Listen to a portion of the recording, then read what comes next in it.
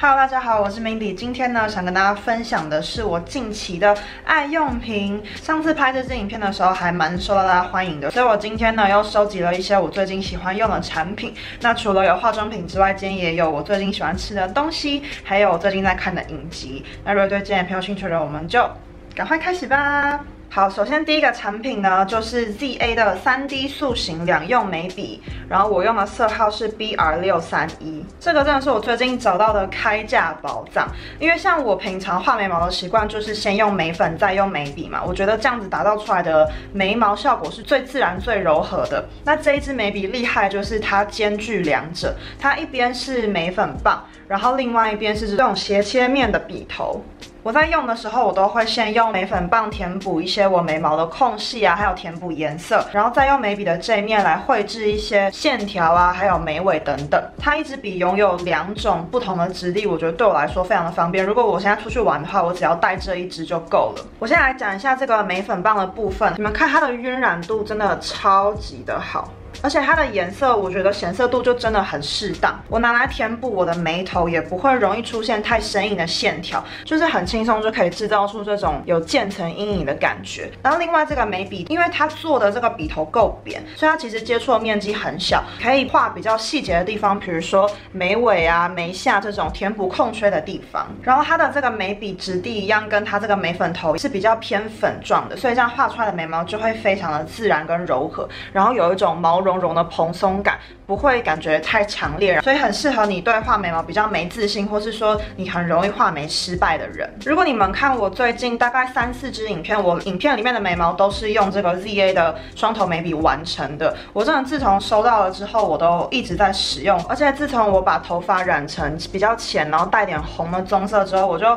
翻遍我抽屉里面找不到一个比较适合我的偏红色调的眉笔，然后我就拿出这个来用，结果发现它的颜色。跟我的头发颜色超级适合，画出来的颜色就我觉得非常的好看，会带给脸部一种很有精神的感觉。而且它这个眉笔真的是我用过最不容易在眉毛上结块的，不管我的底妆是油还是干，有定妆还是没定妆，它这支眉笔都可以把我的眉尾画的非常的漂亮利落。我去上跳舞课，我的眉毛也都完好如初，它的它的持久度我觉得蛮好的。好，那这个双头眉笔它总共有出三个颜色，分别是 B R 六一一、B R 六三一，还有。G Y 九五一，G Y 九五一是特别适合亚洲人的黑灰色。如果你是从来没有染过头发，或者说头发是黑色的人，可以选这个 G Y 九五一。如果你是染一般奶茶色、棕色，不带任何红调、橘调的，可以选择这个 B R 六一一，它是比较中性色调的棕色。我刚刚用在眉毛上的这个是 B R 六三一，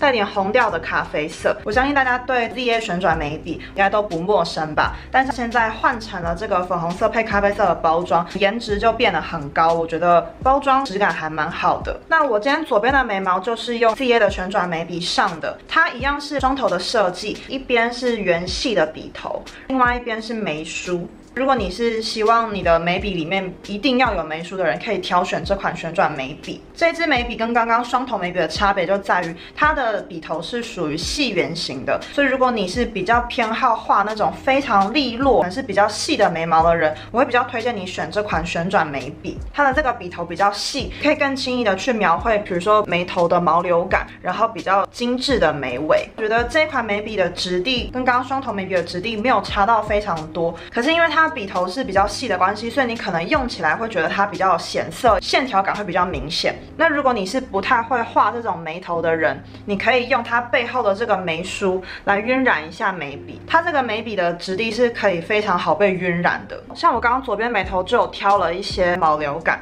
但是我怕那个线条太生硬，所以我就用了这个眉梳再整理一下。跟右边比起来，右边就多了一种比较蓬松的感觉，那些是透过眉粉棒制造出来的妆感。左边的眉毛就会比较利。落一点。如果你想要画那种很欧式的英气眉，也可以用这种细头的眉笔来达成。那如果你想要画韩系的平眉的话，我觉得刚刚的那个双头眉笔会比较适合一点。那这些的旋转眉笔呢，总共有四个颜色。除了刚刚既有的这个 B R 六一一、B R 六三一，还有 G Y 九五一之外，旋转眉笔还多了这个 B R 七七一的颜色。它的这个棕色是比较带黄调、绿调的，所以如果你的头发是黄棕色或者说亚麻色。可能挑选这个 BR 七七一会比较适合。我刚刚提到说 ZA 的两款眉笔都是属于比较粉质的，可是你们看它上在手上。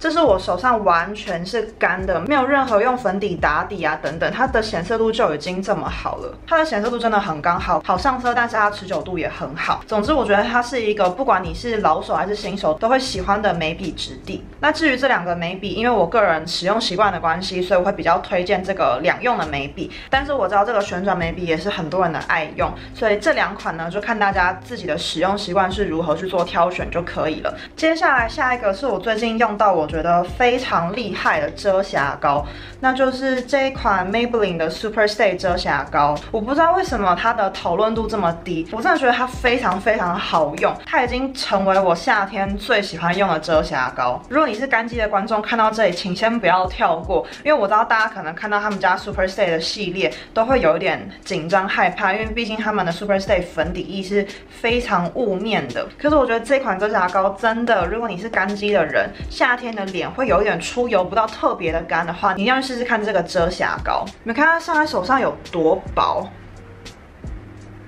它完全就是贴在我的皮肤上，然后一点粉感都没有，而且它的雾面不是那种沙漠级的干，它还是有一点点的润度在。当我把这个遮瑕膏推开进皮肤的时候，它会直接在皮肤上隐形。你们看。它的质地真的又贴又轻。如果你是眼下很容易卡厚粉的人，一定要试试看这款 Maybelline 的 Super Stay 遮瑕膏。它的刷头是这种扁扁，所以你一次不会上太多的量到眼睛上。它遮瑕度我觉得算是中偏高。如果你瑕疵不明显，不是立体的瑕疵的话，应该擦很薄很薄的一层就可以完全遮盖。那如果你像我一样有一些泪沟的问题，你可以用到大概两层左右，差不多也就可以把这些凹陷的瑕疵给遮起来。而且它这一款是我可以用在。我的鼻子上的遮瑕膏，我敢说市面上八十趴遮瑕膏产品都没有办法用在我的鼻子上，但是这款真的可以，它上在我的鼻子上不会显毛孔，不会显干，然后它也不太容易卡粉，非常的服帖，又可以适当的修饰我鼻头的一些毛孔粗大等问题，这一点真的让我觉得很神奇，因为它其实是比较偏雾面的遮瑕嘛，那我会认为它上在鼻头上应该会蛮容易显干，但是它上在我鼻上居然可以让我鼻头的妆感看起来更完美无瑕，像你们。看我今天的眼下，我叠了两层粉底，然后我先用深色打底，再用浅色提亮，应该不会觉得我眼下有一种厚厚卡粉的感觉吧？整个眼下的遮瑕膏是很贴很崩的感觉。它真的是夏天遮瑕膏的霸主。接下来这个应该对大家都不是一个意外，那就是 ZC 的粉饼。在我之前 ZC 的影片中，我就已经大力的称赞过它了。我记得它价钱是两百四十九块，虽然这么便宜，它的包装都不马虎。它这个因为是大英博物馆授权的，所以你看它这个正面有一个埃及女神的印刷。然后这个上面是有点突突的手感，它里面还有一个小镜子，还有一个粉扑。我用的色号是 AM 零一象牙白，在我脸上就是刚刚好的深浅度。它的粉质真的是细致到一个不行，你们可以注意看我这一块，我现在用这个手指直接上哦，就是我的这块皮肤会瞬间被柔焦的感觉。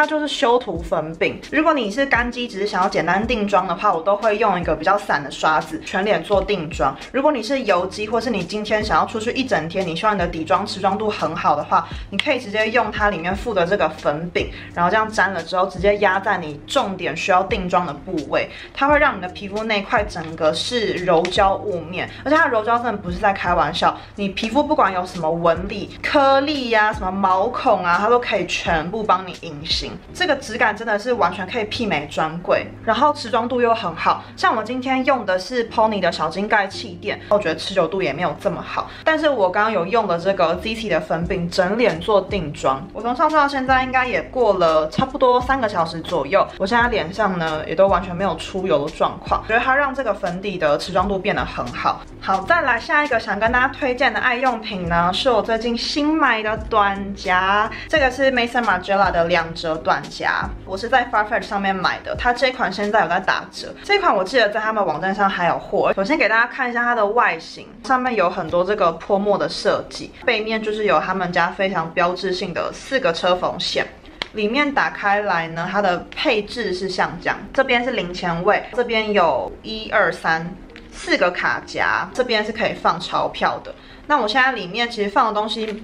不少，有好几张千元钞票跟百元钞票。它千元钞票是整个可以平放的，然后我有一些多的卡，我就把它塞在这个地方。放在这里面的话，它会有点鼓，不希望它这个皮就是太被凹到。我是一个超级无敌挑短夹的人，像这一款短夹，第一个它是这样子对开式的，所以你在掏钱的时候，你的皮夹不会这样子翻得很长。另外它的零钱位做的是像这样子的，在拿零钱的时候就很方便。该有的钞票位啊、卡夹也都有，兼具实用之外。它的颜值也非常的高，然后我觉得又很耐看，所以自从收到之后，我就觉得我买到这个皮夹真的是太幸福了。我还特别做了一款有一点跟它搭配的美甲。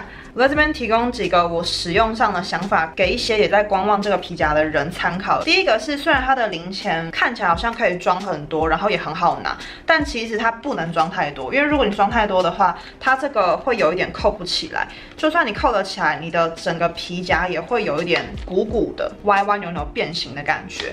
另外一点就是，刚刚大家应该也看到了，在这块皮会被这边的卡压到，然后再加上它这个皮真的是。比较软，比较容易出现这些凹痕啊等等。总之呢，如果有跟我一样喜欢 Maison Margiela 这个牌子，然后或是有在寻找短夹的话，我很推荐这一款。它的价格不会太高，耐看、实用、经典，也不容易撞。它不是那种烂大街的款式。接下来就是一个我最近非常非常爱吃的零食，吃完就把包装丢掉了。把图片放在这里，它是家乐氏跟 Hershey's 联名的麦片。这个东西其实是我爸一开始发现，然后买回家的。他说他是在爱买买到的。他这款麦片最好吃的地方就是它中间居然有巧克力夹心，而且它的夹心是巧克力酱，吃起来会外面脆脆，然后里面又很滑顺，飘出一个浓浓的巧克力酱的香气。但我觉得更厉害的大绝招就是你把它泡到牛奶里面，你会感觉你的牛奶好像变成了一个巧克力牛奶，而且是有那种巧克力酱的浓醇香，而不是巧克力香精的味道。它的外壳够厚，所以吃起来那个脆度是很够的。大家如果也很喜欢吃。巧克力，或是很喜欢吃牛奶麦片的话，一定要去买买看这款家乐氏跟 Hershey's 联名的巧克力夹心麦片。第二个要跟大家推荐的，我最近爱吃的东西就是。健思跟实力联名的抹茶黑糖珍珠雪糕，这款雪糕是只有在全家买得到。开始会知道它是因为汤，他在某一个 Get Ready With Me 中，他化妆化到一半，然后就突然开始吃这款抹茶珍珠雪糕，我就很好奇，我想要试试看。不买还好，一买我从第一次到现在应该有吃掉了大概有没有十支啊？如果你跟我一样很爱抹茶那种茶香，还有微微苦苦的味道，你一定也会很喜欢吃这个，因为它是这个。实力的抹茶，我之前就觉得老虎糖那个有一点点太甜，吃久了会腻。而且其实那一只还蛮小，但是你们看这个，超级大，大概是我脸一半到三分之二这么大吧。你看，才咬第一口，里面就有珍珠了。它珍珠切的是方形的，可是它珍珠非常的香，然后也很有嚼劲，很 Q。接下来是想要跟大家推荐我最近在看的影集，那就是《怪奇物语》第三季。其实说真的，我看完第二季的时候，我就已经决定要弃剧了，因为我觉得第二集真的太难看。但是因为我爸最近呢，就又开始重新看了《怪奇物语》第三季，所以我就跟着他一起看。这个八集追完之后，才发现原来第三季比第二季好看这么这么多。因为第三季它比较是一个完整的故事，我记得它跟第第二季几乎是没有什么关联的，然后我觉得它整个剧情也够紧凑，然后这一集他们把所有的主角都分成不同的支线，每个支线它都有自己的故事背景设定，还有他们遇到的一些奇怪的事情，让他们去探索解决，所以整个故事我觉得就变得蛮有趣轻松的。但是大家如果看过《怪奇物语》的话，都知道说它在轻松的背后呢，都有一些隐藏的怪怪的事情发生。那像这一季，我觉得他们怪怪的事情又比之前第一季、第二季更提升。的可怕悬疑感会再更高，所以第三季应该是我一二三季看下来我觉得最好看的一季，我很推荐给还没有看过《怪奇物语》第三季的人。虽然已经开播一年了，但是我觉得它到现在看也还是觉得非常的好看。好，以上呢就是今天想跟大家分享的所有最近爱吃、爱看、爱用的东西，希望大家喜欢今天的影片。如果有被今天影片介绍任何一个东西烧到的话，麻烦你们在底下留言告诉我。那如果喜欢今天影片，不要忘记帮我个喜欢，然后可以按这里订阅我的频道。如果任何问题的话，你们在底下留言。那我们就下支影片再见喽，大家拜拜。